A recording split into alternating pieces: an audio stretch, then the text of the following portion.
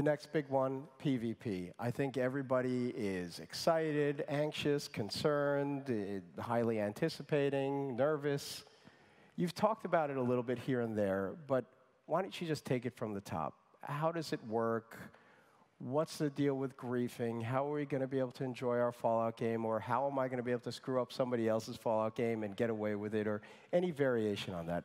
I'll just leave it to you to. This is why I don't go on Reddit. That's right. um, all right, we will do our best to sort of explain where we're coming from with PvP.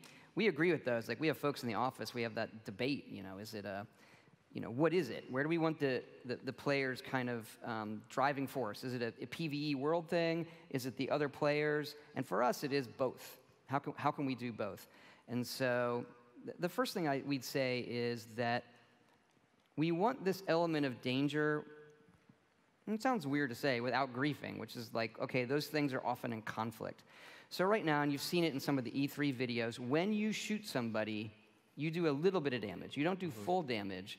It's like an invitation. It's like like slapping somebody in a bar. like, you want to fight? Um, and like that's annoying. And eventually, you're like, yeah, I think you know yeah. we're gonna. And so you do little bits of damage. If you engage, then you're doing full damage. And there's a cap reward based on the player's level. So if the player's really high level, you're going to get more caps from them than if they're low level. Um, if you want to, after each one of them dies, you can seek revenge, which doubles the incentive. So the guy kills you, you're like, well, that was annoying. Then the game says, hey, if you want to seek revenge, I'm going to give you the double reward. It's like, okay, maybe I want to engage in that. Um, and that's really, really fun. The issue is when you don't want to engage in it, right? Someone's coming right. up to you and they're slapping you and slapping you and slapping you. Um, and you're like, I really don't want to deal with this right now. Um, we have a lot of ways you can get away from them, but we still like it where they do, if they keep going at it, they have the ability to kill you, which sounds terrible, it right? Does. To be like, like, why would you do that? Uh-huh. Um, we like to turn that into a dramatic moment. So the player that kills somebody that didn't want to engage in it, um, then becomes a wanted murderer. They get no reward.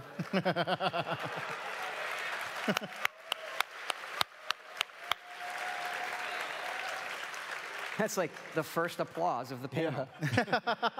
Murder! um, so there is no reward. You get no caps. You get no XP. You get nothing for becoming a wanted murderer except for the kind of social incentives people have online to be assholes. Right. Um, which no. evidently there's quite a few. Um, so what do we do with that? We turn the assholes into interesting content. So they appear on, they appear on your map as a red star. Everybody sees them, and they have a bounty on their head that. and that that bounty comes out of their own caps. Oh. and they can't see the other players. So on, on the map. Um, and we did this. We had this idea, like let's let's turn it, like like let's make them interesting content. And it is when this happens, when any, anybody murders somebody while we're playing in the office, everyone sees on the map, and it is like there, it's awesome. Like, yeah, that's one of my favorite yeah. stories there. So the other day we had a big uh, test, internal test, and we had played for hours. And towards the end of the test, I had leveled up. I had actually started early, and so I was higher level than a lot of the other people. And I saw that red star and I was, I was almost about to log off and I was like, oh, now I'm going to get somebody.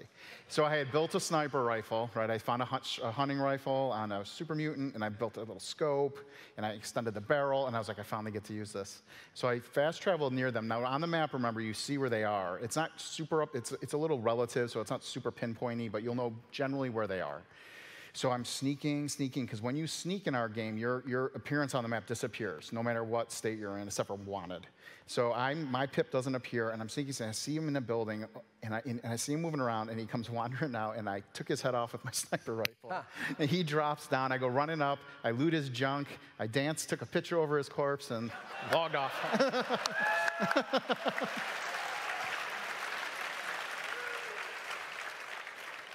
so what happens when you die, though? What happens when someone kills you? Like, Chris, why don't you jump in? What, like, if somebody, if, if I decide to engage, or even if I don't engage, am I punished if I die, or, or, or there's got to be something? Yeah, for, for a long time, we tried testing where there was no punishment at all. Um, and there was and that took all the sting out of death. People used it to their advantage to travel back to, to various points, and it, it didn't feel right. Um, but we didn't want to, to make it too punitive because we do expect people will die, um, and there's no save games like a single player game. Um, so what happens when you die is uh, you just drop your junk. Um, and, and, junk isn't, isn't worthless. You, you need junk to, to build things in your camp or to make better guns or to make better armor. Um, so what it does is it creates a loop um, where you go out and explore, you create some junk, and if you happen to die, that's, that's all you drop. You don't lose your, your awesome power armor or any of the guns that you've collected. But then you have to make a decision. Is like, was that enough junk uh, that I need to go back and get it? Um, or is that something I can live without? Um, and what, what people will do is they'll go back to their camp and they'll, they'll put their junk back in their stash, which is safe. Nobody can, can take things out of each other's stashes. And we've also seeded the world um, with stashes as well. So if you know where some of the stashes are, it's always a safe place to, to store the junk that you've collected. So just enough so it'll sting, a, a but little not bit enough of a sting. so that it'll really deeply hurt and you. it- it's also a little bit of a reward for, Right. for if you manage to kill somebody, there's usually something there with them. nice. And the thing with junk is it's nothing that you can't just re-get by if you just keep playing. Like Right. that's that pile of it. But if you just start exploring, you'll collect more. So it's sort of like, well, that was sunk time. Do I want to go back and get it? And it's Right.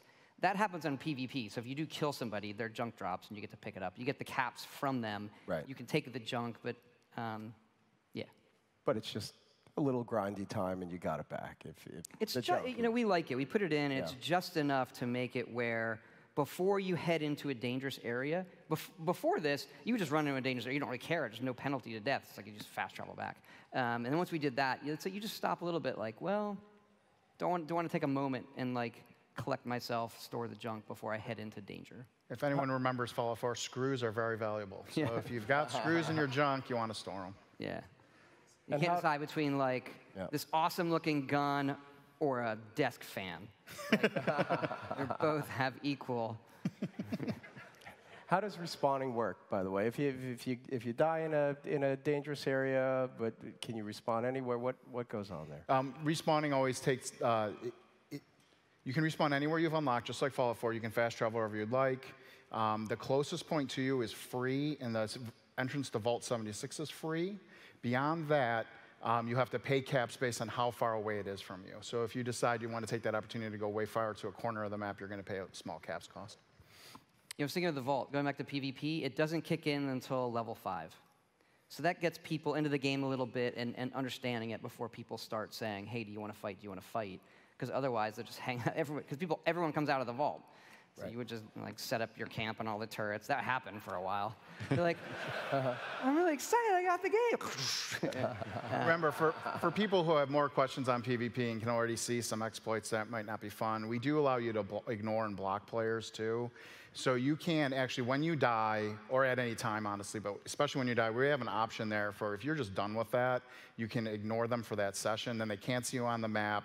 They, they're, can't, they, they won't be able to still mess with you generally, unless they, unless they can find you. But this is a very big game. It's very hard to find people unless you know exactly where they are. You can fast travel easily. We also are entering a pacifist flag, so your bullets won't do that slap to people. So you don't have to worry about, I'm fighting something, some idiot jumped in front of my bullets and tried to get me in PvP. We're, we're allowing you to turn that off too. people were uh, abusing that in the studio. Yeah. The, the pacifist flag. Well, no, they would wait till you go shoot a creature and they would jump in front of the bullet. Right. We, uh, we, yeah, we, we, uh, we had our QA team. I asked the QA team, several hundred people, during one of our sessions to be the biggest assholes they can one session. We got a lot of good notes out of that of things we need to fix.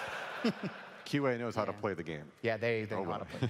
I do have one more question about PvP, which is uh, if you are a higher level character with higher level uh, armor, higher level weaponry, how, how do I even have a chance? And I get the slap mechanic, but if I want to engage and I'm a lower level character, am I just going to get destroyed instantly? We did, we struggled with that. So, what we've done is there's two sort of power curves. You have the usual power curve against creatures in the world that you're used to, um, in our games. And then, so if you take a power curve from like low damage to high damage, in PvP we normalize it. Okay, so the like just a knife is going to come up in damage, and the really powerful things are going to come down. So they feel right, but the death in PvP is is quicker, and it works the same for armor. Um, so if you play other multiplayer games, the guy in power armor with a minigun is obviously going to be harder. Right. But if you get the drop on him with a knife, it, it does kind of work. Um, and it, it, it makes it more fun without it being, well, I have no chance whatsoever. Again, there's still a ramp there. It's just, you know, Right. normalized. Cool. Nukes. And you get the caps, all right? So that's the other thing is, Right. do I, why do I want to go try to kill a level 100 person in power armor with my, when I'm low level? Is that my reward is going to be way higher.